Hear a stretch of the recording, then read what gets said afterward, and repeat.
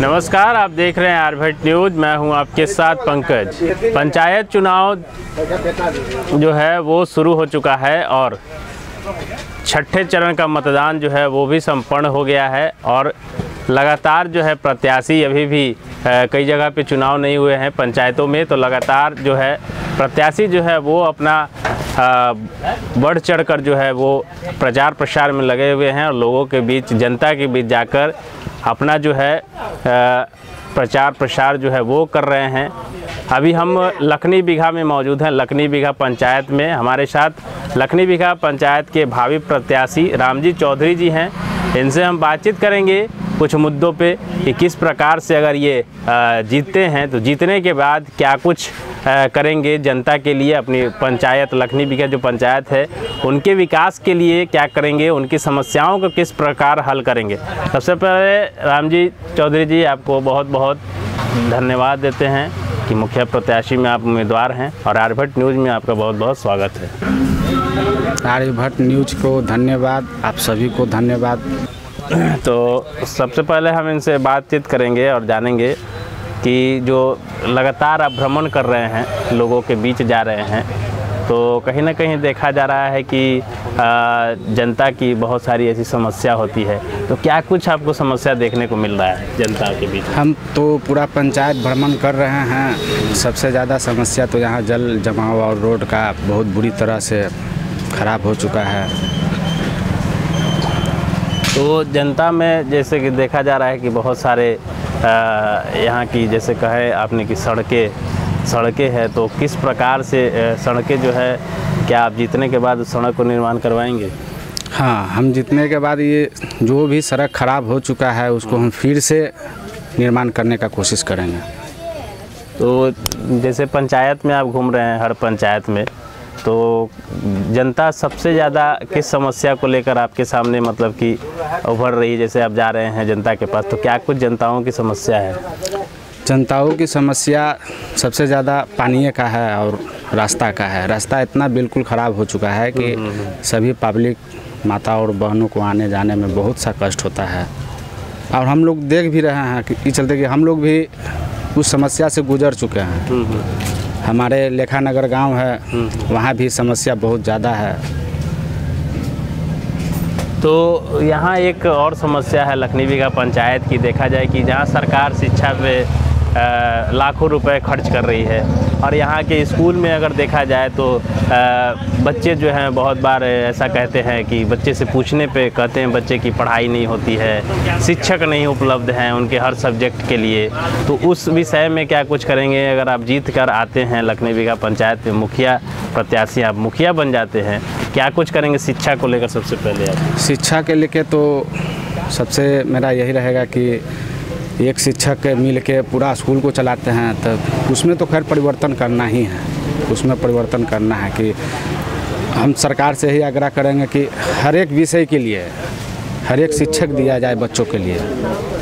अब एक शिक्षक पढ़ाएँगे पूरा विषय तो बच्चा को क्या समझ में आएगा? अपनी बातों को सरकार तक रख- पहुंचाएँगे। हम्म, बातों को सरकार तक पहुँचाएँगे। जो भी पंचायत में समस्या है उनको आप सरकार तक सरकार तक ले जाएँगे। ताकि वो काम पूरा हो जाए। हम्म, पूरा हो जाए।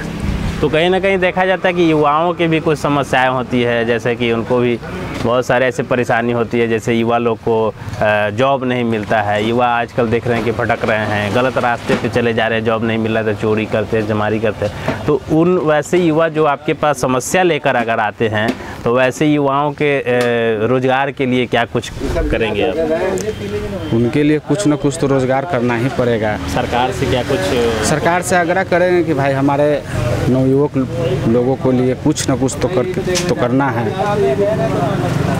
मतलब कि उनको जैसे रहता है कि बहुत सारे लोग हैं सरकारी जॉब नहीं मिल रहा है तो उनको प्राइवेट में भी जाना पड़ता है। तो बहुत प्राइवेट में जाना पसंद करते हैं। तो बहुत ऐसे युवा होते हैं कि सरकार में ही जाते हैं जो तैयारियाँ कर रहे हैं लगातार वो भी अस, असफल हो जा रहे हैं। लेकिन जो लोग प्राइवेट में जाना चाहते हैं लेकिन उनको प्राइवेट में जाने का सही रास्ता नहीं मिलता है उनके साथ ठगी कर ली जाती है। तो वैसे युवाओं को क्या कहेंगे आप? किस प्रकार उनको नौकरी दिलाने में सहायता प्रदान जो ठगी कर लेते हैं, उनको क्या हम कहें? युवाओं को किस प्रकार मतलब कि सही रास्ता दिखाएँगे नौकरी को लेकर? अब नौकरी प्राइवेट जॉब में मान लीजिए कि अगर वो नौकरी करने चाहते हैं इच्छुक हैं तो उसके लिए क्या कुछ रास्ता आप दिखाएँगे मुहैया कराएँगे कि यहाँ पे प्राइवेट जॉब है? आप अपने से उनको बताएँगे कि यहाँ पे है जगह खाली तो वहाँ पे आप जाके अप्लाई करें या उनके लिए कुछ वैसा आप करेंगे? हम्म, करेंगे। वैसा करेंगे हाँ वैसा करेंगे। युवाओं के लिए? युवाओं के लिए। नौकरी दिलाने का उनसे वो मतलब कि जो प्राइवेट में करवाएँगे उनको? हाँ प्राइवेट काम कहीं से आएगा हम लोग के पास तो पता चल ही जाता है वहाँ पे कॉन्ट्रैक्ट बेसिस पे हाँ वहाँ पे हम व्यवस्था करवाने के लिए उसमें व्यवस्था करवा दीजिएगा। करवा देंगे। तो भ्रमण कर रहे हैं तो और क्या कुछ जनता की कमियाँ दिख रही हैं? जनता की कमियाँ क्या दिख रही है? यहाँ के जनता सब ना खुश है। ना खुश है। ना खुश है। अब तो जनता उनको खुश आप कैसे करेंगे? सबसे पहले अगर हम अगर रोड का निर्माण कर देते हैं तो जनता खुश हो जाएगी। सड़क का निर्माण करेंगे। हाँ जनता खुश हो जाएगी। सड़क से ही मतलब कहा जाए कि लखनी बीघा पंचायत के ग्रामीण जो है वो बहुत ही परेशान हो चुके हैं। रास्तों के चलते बहुत परेशान है। मेरा सबसे पहला मुद्दा यही रहेगा। रास्ता को लेकर हम जितना से जितना प्रयास हो हम करेंगे। बहुत बहुत धन्यवाद। तो ये थे हमारे साथ भावी प्रत्याशी लखनी बीघा पंचायत के, रामजी चौधरी जी मुखिया प्रत्याशी हैं। इन्होंने देखा आपने कि इन्होंने बताया कि सबसे पहले जो यहाँ की मुख्य समस्या है सड़क और पानी की जो समस्या है जितने भी ग्रामीण इलाके हैं पानी की समस्या और सड़क से जो जूझ रहे हैं, कॉलोनी हो या गाँव हो, उनको सबसे पहले मरम्मत कराएँगे। शिक्षा पे फोकस करेंगे, जैसे शिक्षा स्कूलों में जो शिक्षक नहीं हैं, हर सब्जेक्ट के तो उन पर सरकार तक अपनी आवाज़ पहुंचाएँगे।